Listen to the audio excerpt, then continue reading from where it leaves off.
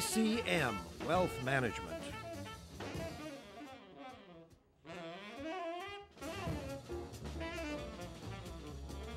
Vancouver lawyers Dumel and Boscovich.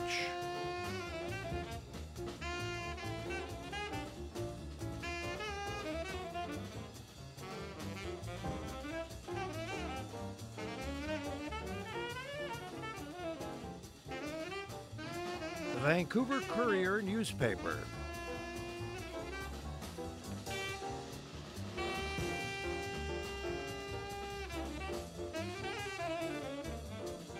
David and Mark Goodman.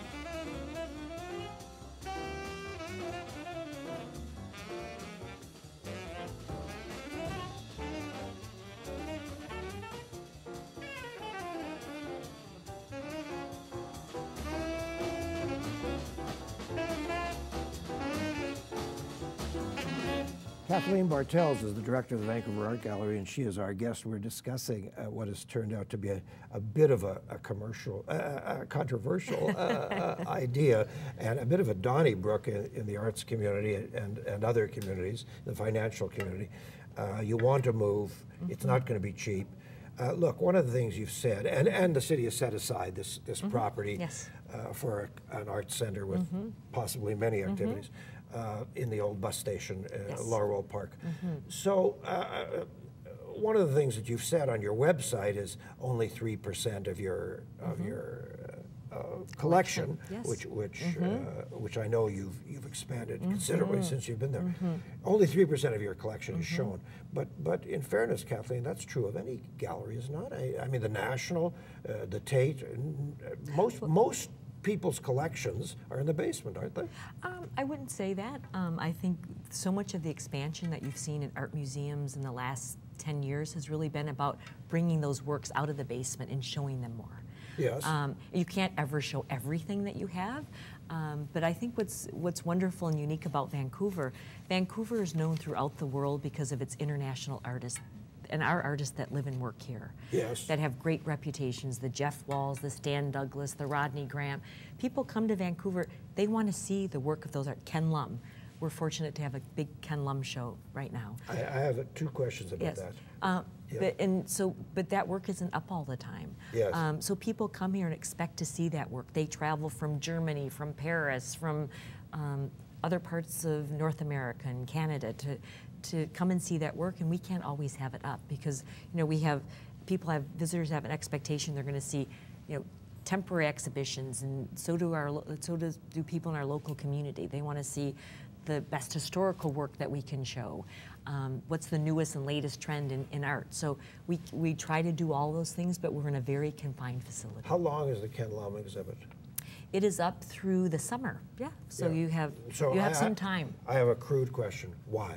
Why, why, why would we, when we have limited space, Mm-hmm. why would we give anybody, including Ken Lum, a, a six-month run? Well, he's why one not of three months? he's one of our most important artists, and it's critical that people here understand his practice. He hasn't had a major exhibition in Vancouver in over 20 years, but he has shown in all the great cities in Europe, uh, but not here. So it's our responsibility to support and encourage uh, the artists that are known throughout the world that live and work here.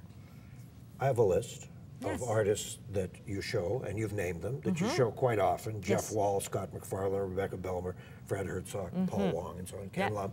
And those are people, if anybody pays the slightest attention to art, we know the names, Mm-hmm. uh, especially Jeff Wall, Ken Lum show up regularly, Paul Wong over the years. Yes. But I also have a list of people that have been, uh, people have sort of fed to me. And these are artists who are shown all over the world, and they live and work in Vancouver, but they've never appeared at the art gallery. Mm-hmm. Oh, okay. Is there a fiduciary responsibility uh, on, on the art gallery to, to show local artists as much as possible? The, the financial responsibility, you mean, a fiduciary? Yeah, is, is it Well, written think- into the, the Constitution or the bylaws? No, not at all. Um, but I think, you know, again, we're a confined building Yes. and we can and we can't be all things to all people. I Yes. think we, we try to do the best that we can to reflect the art making in this community. Um, whether it's in big group show, shows like We Vancouver, showing 45 artists and architects and designers, uh, and community organizations in Vancouver.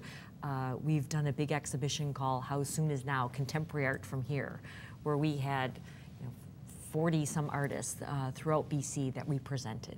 So we do make a real attempt to try to be more inclusive, um, but at the same time, we can't show everybody at the art gallery. I Googled three names. Yes. Uh, you tell me, uh, you must know these names. I'm Yes. sure you know your art much better than I do. Um, Parviz Tanavoli, uh, Austria, Italy, Germany, U.S., Korea, British Museum, MoMA. He's, he's shown in. What all is of his it. name? His name is Parviz Tanavoli. Yes. Um, Bonifacio. Uh, he's at the Bau-Xi, he's at the Heffel here in Vancouver. Mm-hmm. Yes. He's exhibited in Cologne, Seattle, Calgary, Toronto, Yugoslavia. And uh, Leslie Poole. Mm-hmm. Yeah. Uh, over a 100 Leslie. solo Uh-huh, exhibits. yes. You're showing Leslie? No, I know her work. I know Oh, his work. Yeah. Mm-hmm. Okay. So these are just examples Yes. Mm-hmm. of people, you know, that, that have been presented to me, and people say, "Well, why don't they show more Canadian artists? Why Vancouver?" Mm-hmm. Because you you said a few moments ago, people come from all over the world to see Vancouver Mm-hmm. Yes. artists. Okay. Yeah. Why don't we show more of them? I think we do our best. We show Okay. remarkable. A majority of the art that we show is based on Vancouver in this place, from emerging artists to the most respected artists. And I think we we do the best we can in our in our facility. Is it is and it? I think people are very complimentary of the range and breadth of work that we show uh, of artists from this place. And again, it's not just visual artists. We really try to incorporate architects, designers. You show you show a lot of uh, installation and photo artists. Um, I would say we, Mm, not necessarily. I mean, well, certainly Vancouver's known for its photo-based art, right? So it's it's a very important part of our program, of course. But I don't think it's exclusive. Is there? No, I didn't say it was Yeah, exclusive, but you mm-hmm. show a lot of it. I, I, I, does the Vancouver Art Gallery, and I, I have no idea, I'm mm-hmm. just asking, Yeah. does the Vancouver Art Gallery have a sort of negative feeling about what might be called old-fashioned oil on canvas? Oh, absolutely not. I mean, if you look at some of the shows that we've done more recently, we did the, the Modern Woman from dr- beautiful drawings from the Musée d'Orsay in Paris. We Right. did the Rijksmuseum exhibition, Right. which was tremendously uh, well received. Um, so, So Kathleen, Yes. Mm-hmm. let's let's let's continue with this conversation with content because, Yes. Mm-hmm. as we say in TV, content is king. So let's say you you you your dream comes true Mm-hmm. and you get that 350 million or whatever it takes to to build at Cambie and, Georgia. Mm-hmm. Yes. Uh, what is your strategy for acquisitions? What'll you use for money? If you if you spend 350 on building the box, building Mm-hmm. Yes. the environment, right. yeah. What's Yeah. your What's your Well, you know, acquisitions plan? And I know you've been good at acquisitions. Yeah, we have actually. In the last 10 years, our uh, collection has grown from 6,000 to over 10,000 works, Right. which is really exciting. Yep. But like most institutions, we rely very heavily on donations. Yes. Donations from collectors and artists. Um, and so that's a, an, an important element. Uh, we have a very small acquisition fund, um, but we use it uh, very strategically and, and every year put Well, together. what is small? What do you mean? So Uh, well, it's about eight eight million dollar acquisition fund, Yes. uh, and then we draw four percent down from that, and we Sure. use that. But also, we've been able to uh, establish four new um, acquisition endowment funds in the Oh. last five years. So, a Michael Audain Emerging uh, Artist Acquisition Fund, uh, the Jean McMillan Southam Art Acquisition Fund, the Major Purchase Fund, Right. the Eliza Wynn Estate Fund. So we've been very strategic in, in encouraging people to establish funds for acquisition. And do your curators, uh, do you and your curators have a sort of eyeball on the kinds of things you hope will come on market? Uh, we're always looking. We're always looking uh, at auctions. We're always meeting with artists. We we very strategically work work with collectors all over the country and in the United States. Yes. Um, working with them and what work they're buying that would relate to our collection. Would they be interested in gifting their collection? We've been very successful. Several years ago, we acquired a major collect- collection uh, of internationally photo-based work from Yes. Allison and Alan Schwartz.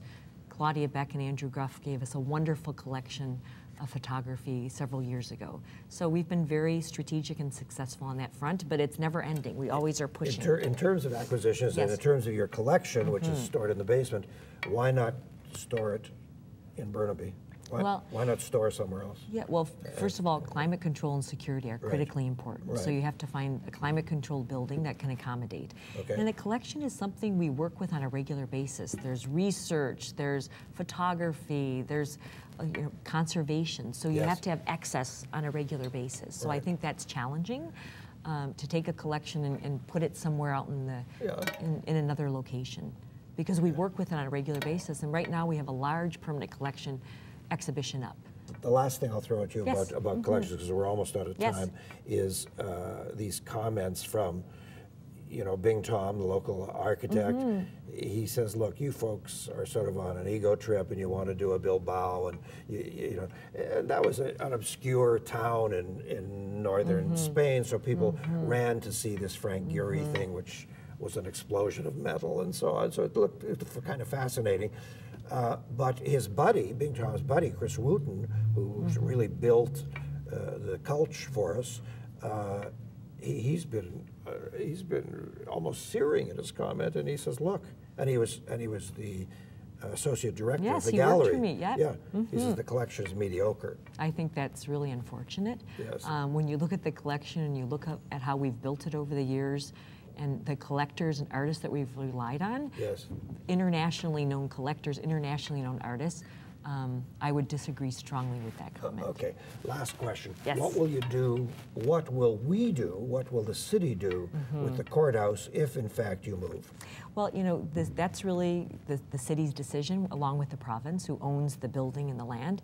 Um, I What think, think? I think everyone's very committed to having it stay in the cultural realm. Yes. And there's so much cultural infrastructure need in this city, from the Vancouver Museum to the uh, UBC and, and the Museum of Anthropology and the Belkin wanting to expand, an Asia Pacific Cultural Center. So I think there's a lot of possibilities. Kathleen, have you have you had the experience, fortunate or unfortunate, in Mm-hmm. the last several months, that much of this fight has become personal?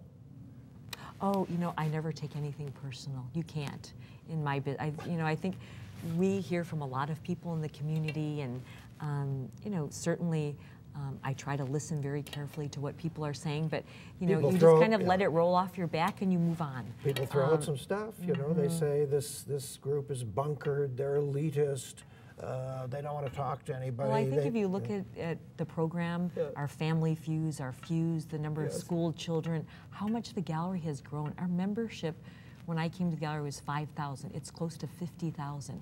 That speaks to community support. Um, and so that's what I look to. I find my excitement in, in the community we serve and also the artists that we work with. Kathleen, great. Thanks so much for being with Thank us. Thank you. And Thank you very much, we'll look, David. We'll look forward to seeing how this uh, rolls out in the Thank you. coming months. All right, uh, next week, Susan and Goliath. Susan Heyes, as you know, ran a little maternity clothing store on Cambie Street. Uh, they tore up the street. They said they weren't going to, but they tore up the street. And she ended up suing the Canada line, and uh, she won $600,000. Guess what? Last week, this decision was reversed. What are they going to do? Take the money away? This is a Susan and Goliath story. She's one of my heroes, and you'll meet her next week. Thanks so much for being with us.